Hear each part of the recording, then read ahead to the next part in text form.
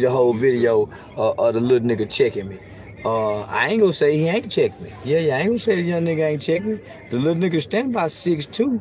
Uh, nigga probably can be a motherfucker me uh, defensive end, nigga, for one of them uh, NFL football team, nigga. So what y'all think? I'm gonna fight that young nigga? That nigga 20 years, something younger than me.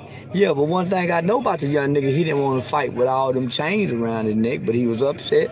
He was very, very angry, and the nigga threatened me. Yeah, you don't know. I started calling the police on him right then and on this motherfucking That nigga tell me next time I see you outside this circle, what he'll do to me. Nigga, I'm damn near senior citizen level, and I'm disabled. You don't know that, but I have. I started to go put the police on him, motherfucker. Hey, officer, listen. You see that man that suit over there? He threatened me earlier today when we when I fresh off the airplane. They took me to a neighborhood where it was all black people sitting on the porch, and they had some old uncles out there, and them people were violent looking over there, and they were dangerous, and I was scared. So I'm thinking they done